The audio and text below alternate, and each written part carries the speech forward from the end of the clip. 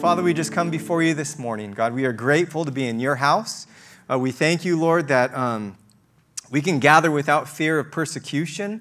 Lord, that we can worship you freely, Jesus. And, you know, we just ask as, you know, we come into this to this place, this building this morning, Lord, to meet with you, Jesus. God, we pray that you would meet with us, even as that, that last song was singing, pour out your spirit, pour out your spirit. We need you, Father. We need your spirit, Jesus. So come and illuminate our hearts and our minds to receive the word that you have for us individually, Father. And let us be, as, as James says, not just a hearer, but a doer of the word. Lord, may we, may we walk out these doors applying the word that you've spoken to us. We pray that you would just speak to us eternal life, Jesus, and, and that we would walk out looking a little more, more like you, Jesus. We don't want to look like ourselves.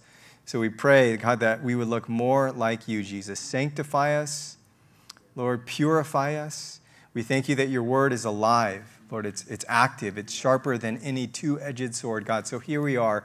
We pray that you would just come and meet with us, Lord, that you would do business, that you would show us those areas in our life that, that we need to surrender, that we need to change, maybe those areas that we need to repent of, God, and you know, or maybe the areas that we need to be encouraged and challenged, Father. So build us up in our most holy faith today, Father. We love you, we thank you, and we ask this all in Jesus' name. Amen. Amen. All right, so life's all-time greatest question. You know, many of you, you might have your own life's all time greatest question. And I think, you know, it'll vary, it'll change based on the season of life that you're in. You know, if you ask 10 different people out there, hey, what is your life's all time greatest question? From 10 different people, you're probably going to get 10 different answers, 10 completely different answers. That's because all of us are at different stages in life. All of us are going through a different season. There, there, there are different things that we are all experiencing on a day to day basis that will affect what our life's greatest question is. So maybe, you know, I don't know many of you, maybe um, there might be some in here, or you have known somebody like this who their friends are all of a sudden getting married. They're moving out of their house. Maybe they got their career job. Maybe they, maybe they first bought their house, and, and you're kind of at that place and you're just kind of asking the question, and your life's all time greatest question is this Man, who am I going to marry? when is life going to start happening for me? I've been on dates, they, they, they seem serious, but the, late, the girl dumped me you know, or, or man, I'm just stuck in this routine. When is my life going to get started? And, and that's a very real and valid question at the stage of life that you're in. Maybe there's others in here, maybe that you know, that are finishing high school. And your, your life's greatest question is, man, where, do I, where should I go to college? What should I spend the next four years of my life studying? You know, I felt like, you know, I want to be a teacher since I was very young. Should I go and study liberal arts or elementary education? Maybe, maybe there's some that had just graduated college. And now you're kind of at the place where your life's all time greatest question is man, I just, I spent four years studying liberal arts. You know, I always wanted to be a kindergarten teacher, but now I'm not so sure. What am I going to commit the next 30 plus years of my life doing? Do I really want to be a teacher? Do, do, do I think that job is going to bring fulfillment? Am I going to be happy? Is it going to provide for my needs? Or worse yet, is that job that I commit to for the next 35 plus years, am I going to hate that job? Am I going to come home at night dreading going to bed because I know I have to wake up the next morning to a job that I hate? That's your life's greatest question in that season of life. Now, maybe many of you are past the high school, the college, you're already married, and your life's greatest question may look like this. You might have a wayward child, right? You have raised this child up, whether it's your son or daughter, you've raised them up in a house that loves Jesus that serves Jesus, that honors Jesus. You took them to church. They were involved in you know, youth group and, and high school camps and summer camps. Some of their best friends were at church. They just loved church. But now they're off at college. and they find themselves stuck in the world. They're in this trap and they want nothing to do with Jesus. They don't believe in God anymore. They think you, as a parent, you're foolish for believing that because the secular university system, they have an agenda. It's an anti God agenda. agenda. And that's what's infiltrating the next generation. And, and you, as a parent, your life's all time greatest question is this Will my child be okay? Will they find their way back to the Lord before it's too late? Will something tragic happen? You know, this past year and a half has been devastating for families. You know, even for our church, Maranatha Chapel, you know, we've done more funerals in the past year and a half than we have probably in the last five or six years. From people that have overdosed on fentanyl, you know, and all kinds of different, you know, situations. And, and it's been a very difficult year. And, and a lot of kids are finding themselves in this trap. And these are all very, very real life questions. They're important questions. And these questions need to be bathed in prayer. You need to go before the altar of God to, to petition, right? To intercede, to ask God for wisdom so you can help navigate, so you have answers to these questions. So your life's all time greatest question will change. It will ebb and flow based on your situation, based on the season of life that you find yourself in. But one thing is for sure as a Christian, as a believer in Jesus Christ, you have been filled and indwelt with the Holy Spirit of God, the third person of the Trinity. God now lives inside of you. And if, and, if, and if you are not sure that you're a Christian, come talk to me afterwards. I would love to share the message of the gospel and what to do to, to get eternal life. But for us who, who are believers, Bible believers, who trust the Lord, that love the Lord, we have a life's all-time greatest question that transcends whatever reason that or whatever season of life that we find ourselves in no matter what's going on in, in the world we have one life's all-time greatest question and we all want the answer to that question. What is the answer to that question? And, it, may take, it may take some believers a very long time to find the answer to this question. And sadly, there are even Christians in the church that will never, ever find the answer to this question. They will just be walking in circles until they go meet the Lord. So, what is this? Life's all time greatest question. You know, we all want the answer to this question what, what is it? Well, it's been said, you know, if there's a survey that's been conducted within a large group of people, this is not just Christians, this is all of humanity, humankind. This study or this poll, if you ask people, what is life's greatest question for you? There are three common questions that, that people answer with. And the first one is this the first question is, where did we come from? Where did we come from? You don't have to have a, you know, a degree to figure out the answer to that question. You know, many, many people in this world, they don't know the answer to that question. They look around, they see all of this order, this, this beautiful system, this ecosystem that's thriving, that there's life, there's love, there's happiness. Where did we come from? Right? And if you go ask uh, the university professor, what answer are you going to get? Well, you see, we, we have all of this order all of this life, this, this love that's happening, it's because millions of years ago there was a big cosmic glue that all of a sudden blew up, right? And now we have this order. That's their answer. That's not very logical. But as a believer, as a Christian, we know where to turn to to find the answer to these questions. Where did we come from? We can go back to the first book of the Bible, Genesis. Genesis is the book of the beginnings. And you could read in the first couple of chapters the story of the creation. That there was nothing, God spoke, and there was everything. So God created us. Where did we come from? You came from God. So that's the first question. Where do we come from? The second question that is often asked is there life after death? Is there life after death? You know, and I think all people wrestle with this question because God has placed eternity in our hearts.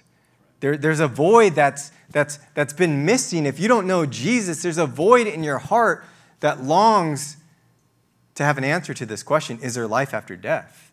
Some people think, you know, no, when you, when you die, you're just done. There's annihilation, right? And that's the easiest answer to believe if you don't believe in heaven or hell. You don't believe in Jesus as your Savior. When I die, I'm just done, right? And they're okay with that. But it's sad because we as Christians, we know that's not true, right? We, we can turn to the Bible, John chapter 3, verse 16, the most famous passage in all of Scripture. For God so loved the world that he gave his only begotten Son, that whoever believes in him would not perish, but have everlasting life. They wouldn't perish. Perish from what? Perish from an eternity with the Father. There is a place called hell. Hell was created for the devil and his fallen angels, those who follow him, but also those who reject the free gift of eternal life. So, yes, there is life after death, and Jesus wants to spend eternity with you. That's why he sent his son to die on the cross, to give you forgiveness of your sins. So, is there life after death? Yes. The third question is more of a tricky question.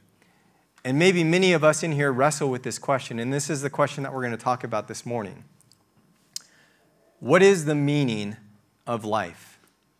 What is the purpose of life? You know, as a Christian, we can, we can understand where we came from. God made us, right? He, he just spoke a word, and here we are. We know that there's life after death. Jesus came to die for our sins. We were on our way to hell, right? We were, we were dead to sin, but now we are alive to Christ. He, he's brought us from, you know, light eh, or darkness into light. So we know that there's life after death. We have the answer to these first two questions. But what about the third question? What is the meaning of life? What was I created for? What is my purpose? What is my purpose? That's life's all time greatest question. And I have the answer to that question. It's found in Colossians chapter 1, verse 16. You guys are going through this on Sundays with Pastor Joe. I'm not sure if you've made it here yet. Um, but listen, this is what Paul the Apostle says. He says, For by him all things were created, both in heavens and on earth, visible and invisible, whether thrones or dominions or rulers or authorities. All things have been created through him. So that's the answer to that first question, right? Where did we come from? Everything has been created through him. What is the meaning of life? What is the purpose of life? We've been, we've been created through him and for him. Amen.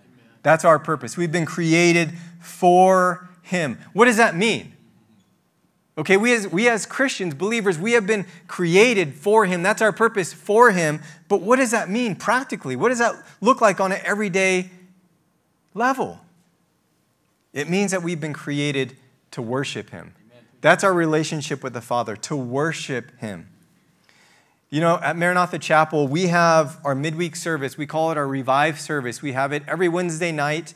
Um, you know, it's much smaller than our weekend services, it's midweek, um, but we have a lot of youth that come, you know, and uh, once a month, the first Wednesday of every month, we have our Revive worship night. And, and this is a very, um, it's a very intimate setting where people come. You know, we have hundreds of people that come, and it's just a night of just worship. And it's beautiful. You see people that, you know, their hearts are just broken and open, and their hands are lifted high, and they're singing, they're praising, they're, they're on their knees, they're, they're laying prostrate. You know, God is moving. The Spirit of God is moving. It's, it's really such a, a neat thing to see as our worship team is just leading the church into worship before the King of Kings, the Lord of Lords, the God Almighty you know, and, and like I said, it's a beautiful sight, but it also got me thinking. We have these worship nights the first Wednesday of each month. So, does that mean we only fulfill what we were created for 12 times a year during these worship nights? I hope not. Because if I was created for Him, if I was created to worship, I want to worship God every second of every single day. But listen, you're not going to find me in Target during a Tuesday in the middle of the aisle with my eyes closed, my hands lifted high, singing, You are Jireh. You know why? Because I can't sing. That would be embarrassing. I'd probably turn a lot of people off to Jesus. Is that what God is expecting of us? But I do want to worship Jesus every second of every single day. But how do I do that without scaring people off with my voice? So, what's the definition of worship? What's the definition of biblical worship? That's the question that we're going to look at this morning. You know, and I believe that all Christians, for that matter, I believe that all creation, all humans, they were designed to worship something and they are worshiping something. If you're not worshiping God, if you're not worshiping Jesus and He's not in that spot of worship for you, you're worshiping something else. Whether you want to admit it or not, you're worshiping something else. Jesus alone belongs in that spot of worship who you give your attention to, who, who, is, who is the passionate one of your life, right?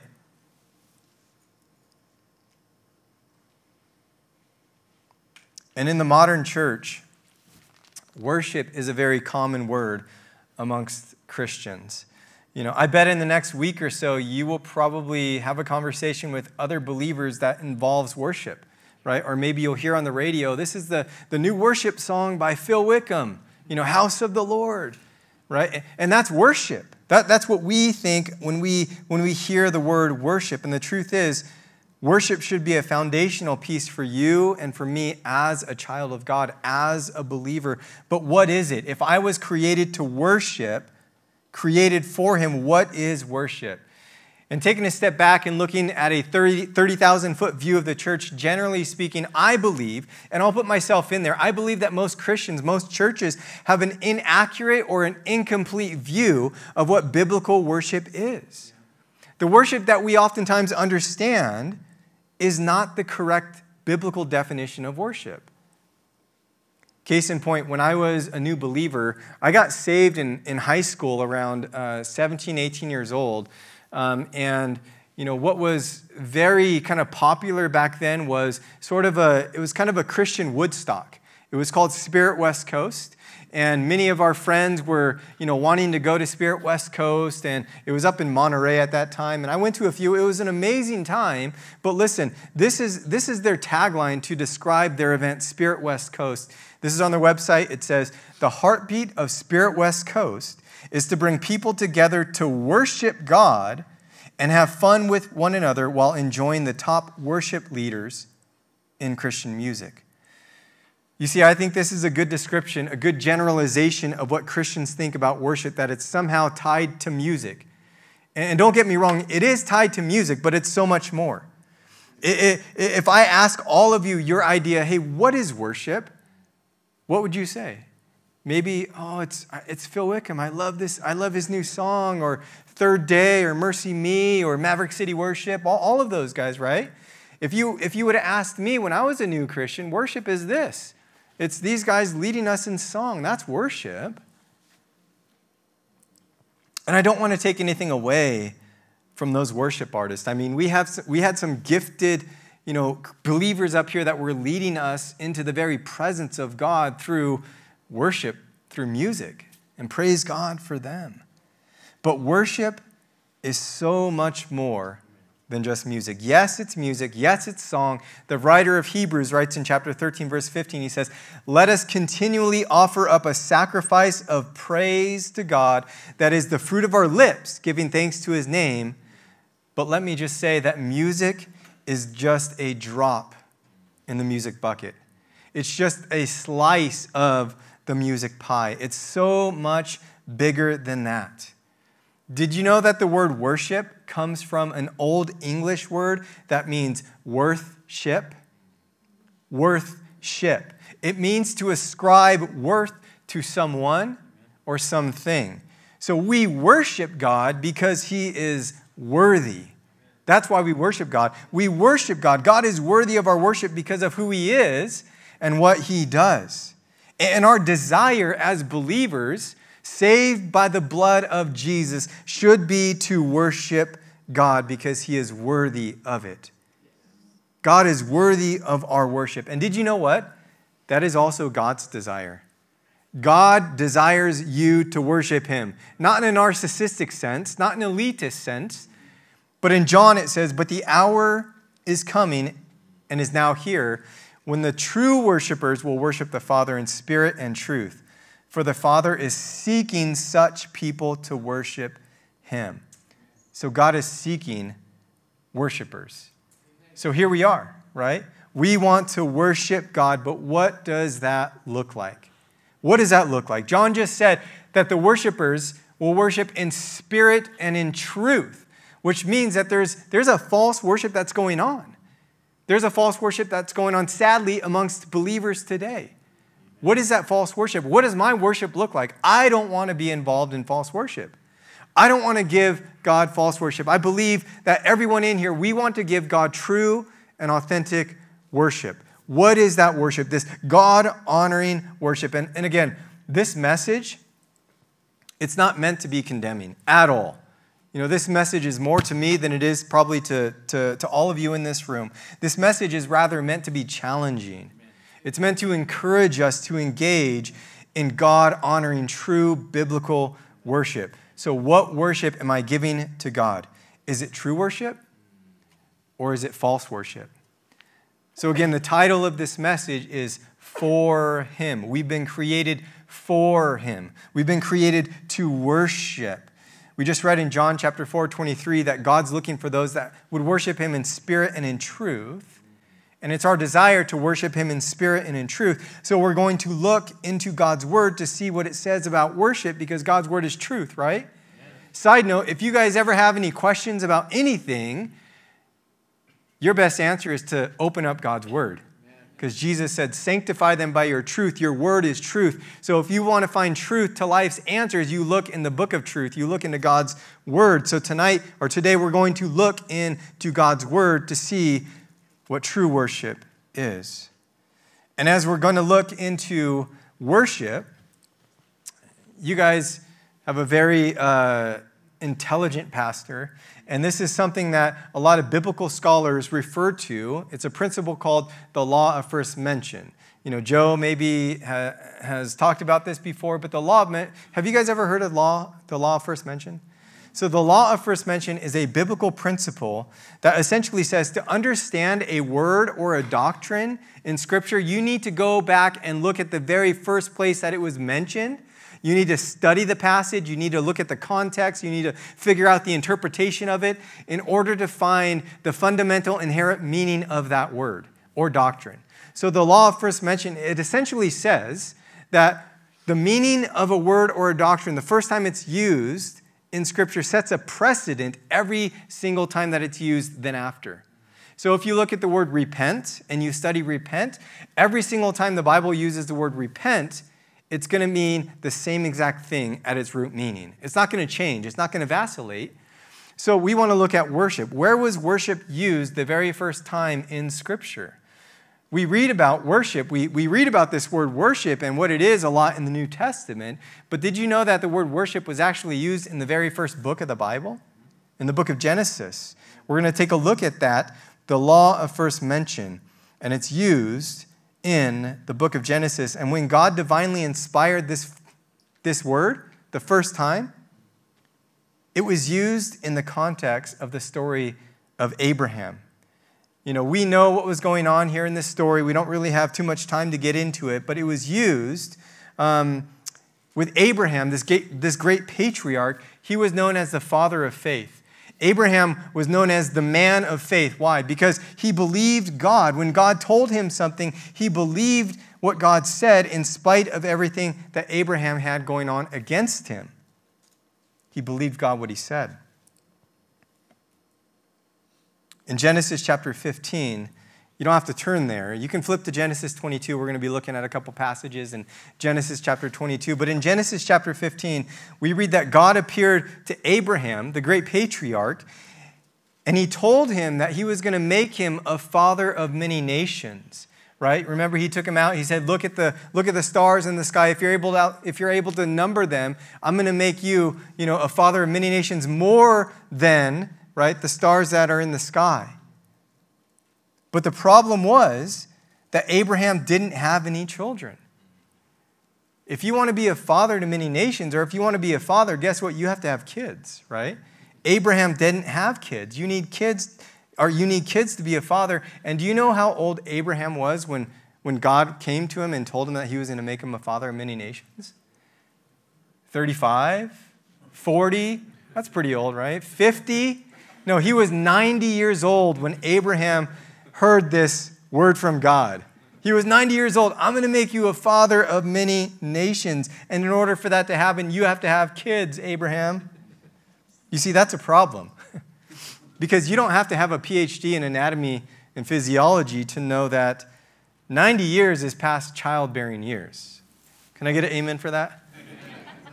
you know, when I'm 90 years old, I'm not going to be trying to make any kids. I'll be lucky if I make it to the restroom in the middle of the night, you know? But yet, God told Abraham that he was going to make him a father of many nations. And Abraham believed. And that's why he was known as the father of faith. He believed God.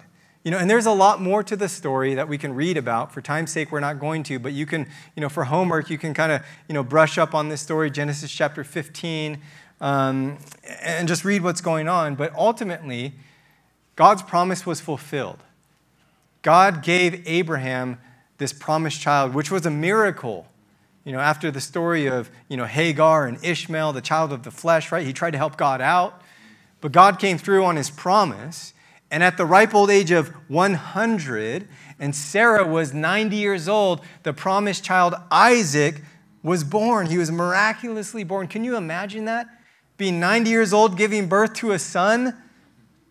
But finally, you know, Isaac was the promised son whom God was going to bring about his promise to Abraham. It was through this child that Abraham would become the father of many nations, ultimately bringing forth the Savior of the world, Jesus Christ. Listen, you had better believe that Abraham was going to do everything he could to protect and watch over his son at all cost.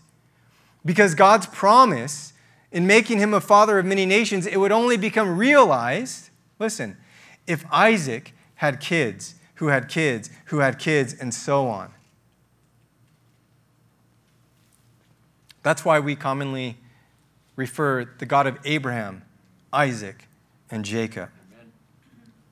And before Isaac even ever had any kids, before the promise of God was even possible, I want us to take a look at what happens in Genesis chapter 22. So open up Genesis chapter 22. We're going to start in verse 1.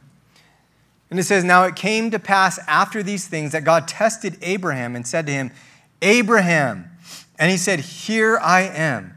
Then he said, Take now your son, your only son Isaac, whom you love, and go to the land of Moriah and offer him there as a burnt offering on one of the mountains of which I shall tell you. I mean, could you imagine what was going through Abraham's mind when God is speaking this to him? That's my greatest fear. Something happening to my kids. I as a father told my daughter and my son, I will protect you. I will take care of you. I will never let anything bad happen to you. That's my greatest fear. And this is God coming to Abraham and telling him, It's time to kill your son. The son that he miraculously gave him, it's time to kill your son. You would think that Abraham would say, Wait, what? Why would you say that, God? You supernaturally gave me a son, Isaac, to bring about your promise, and now you're telling me to kill him, to forget about the promise? I don't understand this.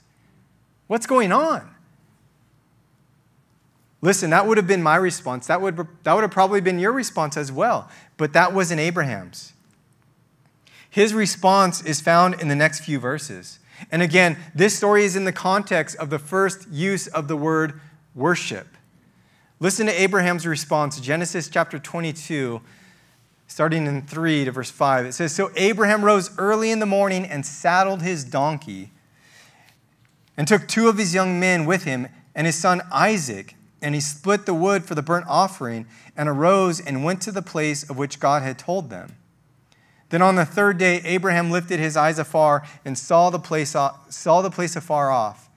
And Abraham said to his young men, Stay here with the donkey. Listen, the lad and I will go yonder and worship, and we will come back to you.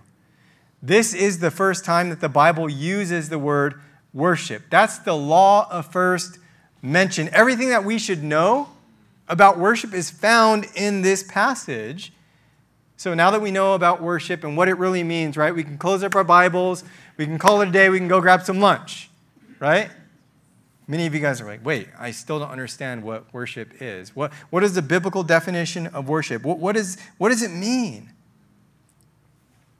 That's because the description of worship is found in what happens in the next few verses. So let's take a look. Genesis chapter 22, verse 5, it says, And Abraham said to his young men, Stay here with the donkey. The lad and I will go yonder and worship, and we will come back to you.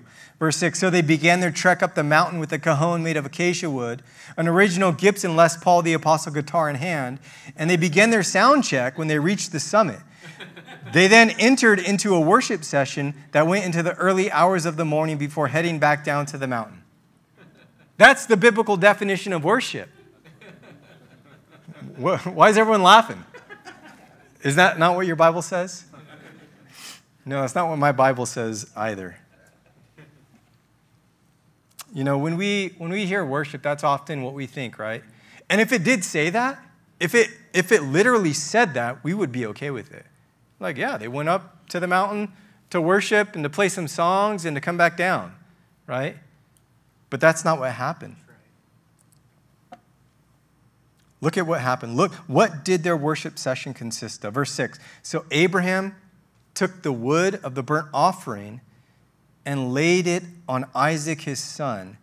And he took the fire in his hand and a knife, and the two of them went together. This is a testing that we're reading about here. This testing is a testing of sacrifice. It's also the first time that the Bible uses the word love, the law first mentioned. And it's interesting that the first picture of what real love looks like is described in the context of a father and of a son, of Abraham and Isaac and the special relationship that they shared.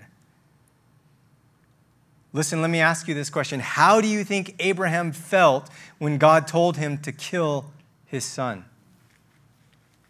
What was going through his mind? What was his emotional state?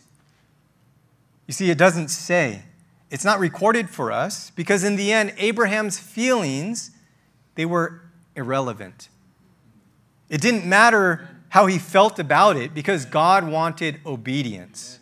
He wanted obedience. And that's important for us to remember because the life of faith is not lived in the realm of the emotions. The life of faith is lived in the realm of the will. You know, I guarantee you that Abraham did not feel like killing his son, but he was going to follow through. He was going to do it. Do you know why? Because his emotions were not his Lord. And too many of us today are confused by this. That our trust in God and our love for God is somehow determined or swayed by what's going on around us. Like, you know, if you wake up and things are going well, right? There's food on the table, you're still getting a paycheck, you're not late on rent, you know, you're, you know, you're just blessed, right? You're like, man, God, you are so good. You are my provider. I trust you. I love you.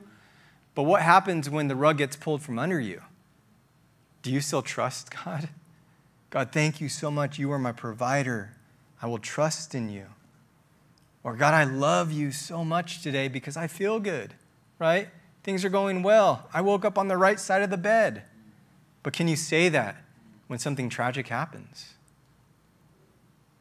Because that is not faith. Faith is not an emotional state, faith is an action of the will. Faith is a volitional response, and faith is a choice. Listen, you choose to believe, and you choose to obey. Takes responsibility. And we are guilty of making our emotions our Lord sometimes. And Satan wants us to fall into that trap, driven by how we feel driven by you know what people you know are saying and oh i need to do this because they feel this way or that's their opinion we, we need not be swayed by that. Making choices by how we feel and not by what God says or but what, by what His Word clearly tells us, Did you know that your faith is precious to God? Your faith is precious to God. 1 Peter writes in 1 Peter 1, verse 7, that the genuineness of your faith, being more precious than gold that perishes, though it is tested by fire, may be found to praise, honor, and glory at the revelation of Jesus Christ. So God is willing to test your faith because he knows the power that faith can bring in the life of a believer. And it's true. God will send test your ways, right? He'll send you through the valleys, but remember who's with us in that valley? God is with us, right? His rod and his staff, they comfort us. He will never leave us nor forsake us. But a faith that cannot be tested is a faith that cannot be trusted. And so Abraham's faith was tested. He became the father of faith because it was tested and he passed the test.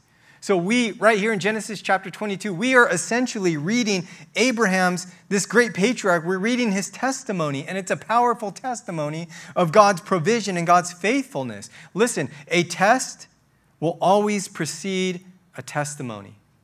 And if it was true for Abraham, it's true for us.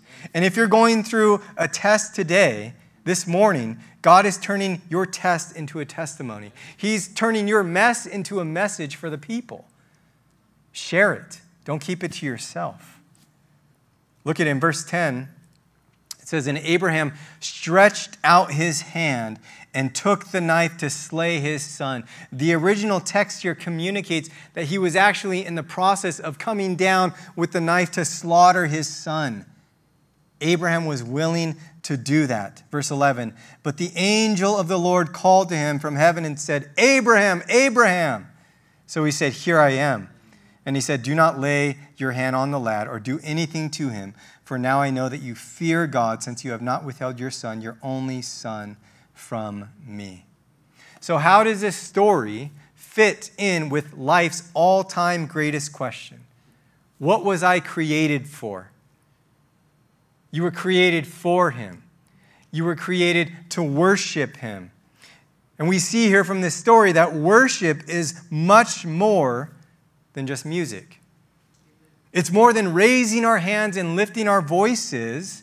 In fact, the only melody that I hear in Abraham's story in his worship session is the melody of surrender, of his will, the melody of obedience, of action, of actually willing to kill his son. You see, Abraham chose to worship God despite how he felt because God is worthy of that worship. He's worthship.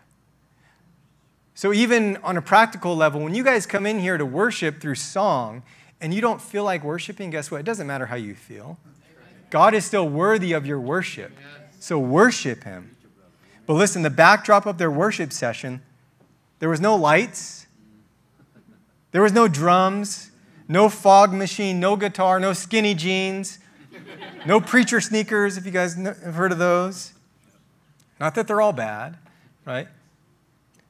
But his worship session, the backdrop included an altar, a knife, a father, and a son. And the New Testament gives us a unique insight into what was going on inside Abraham's mind during this testing of his son, when God told him, It's time to kill your son, Abraham. Hebrews 11 19 which you know, is commonly referred to as the hall of faith. It says, Abraham, listen, reasoned that God was able to raise Isaac up even from the dead. Now, that's a man of faith.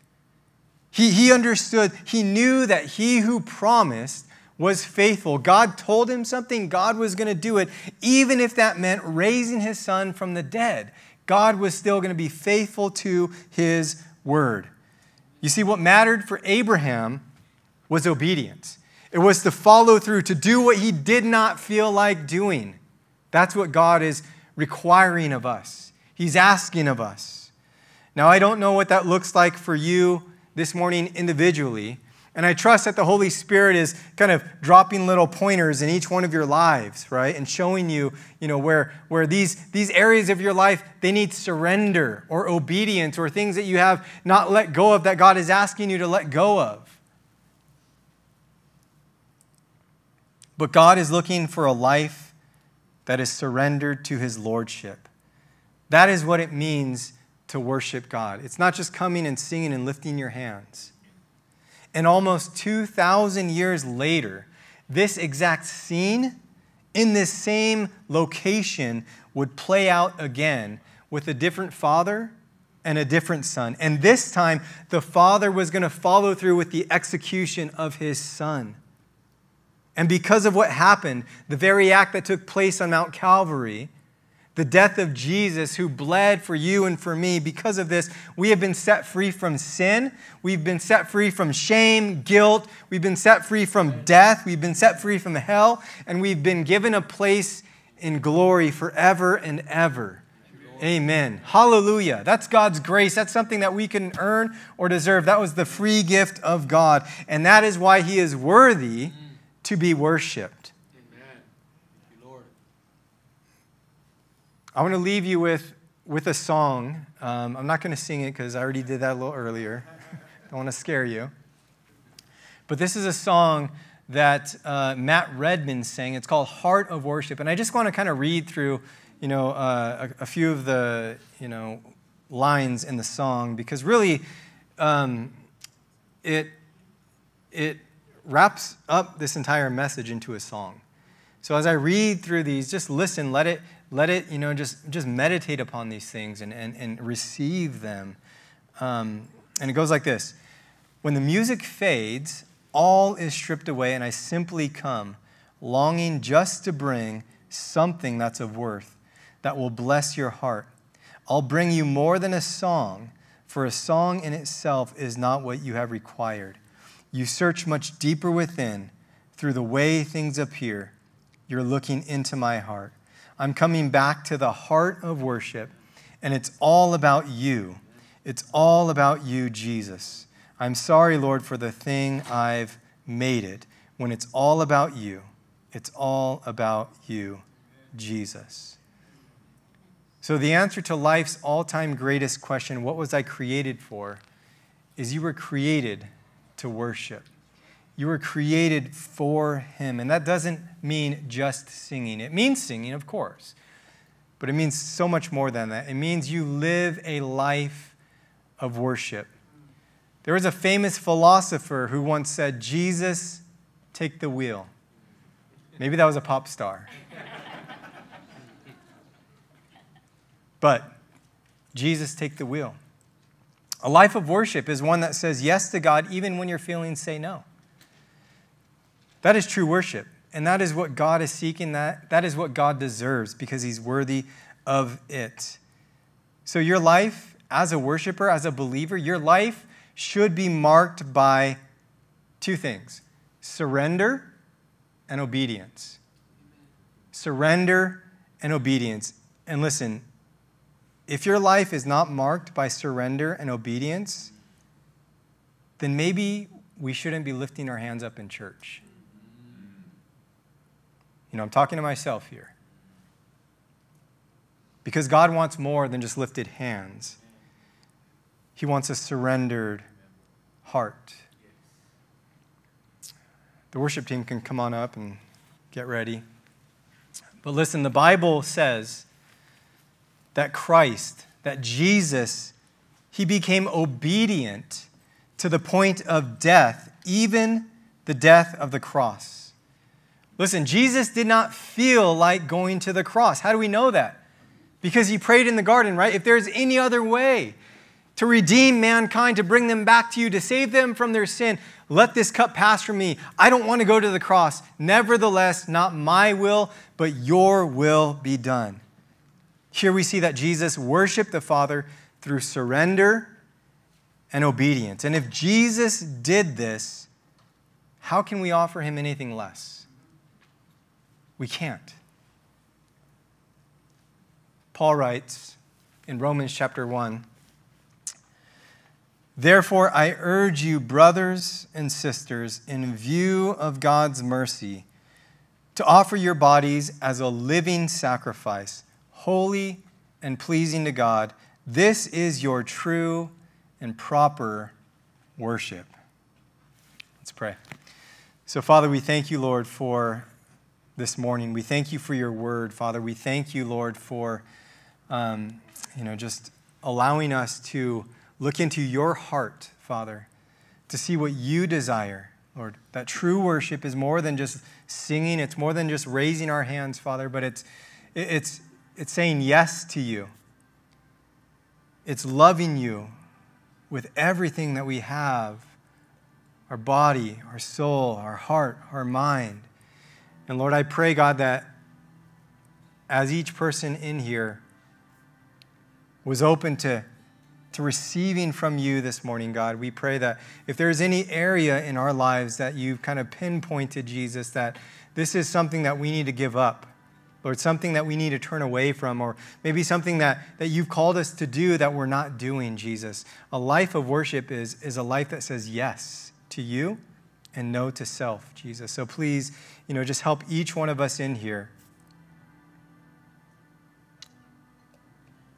honor you and give you the worship that you are worthy of, Lord, the worship that you are due.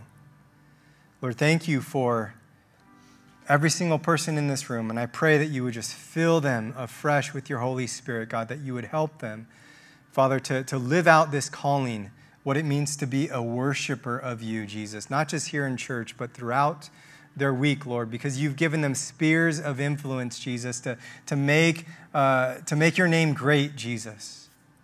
So we pray that you would equip them to walk worthy of, of the calling, Lord, with which we were called. God, we thank you. We praise you. We love you.